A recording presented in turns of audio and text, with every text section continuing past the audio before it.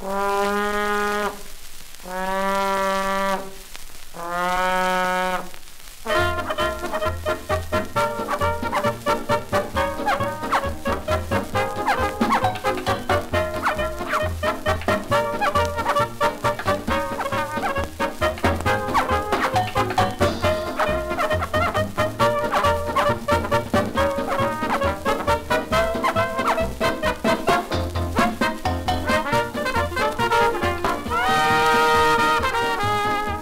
Oh, Mr. Corn, don't hesitate.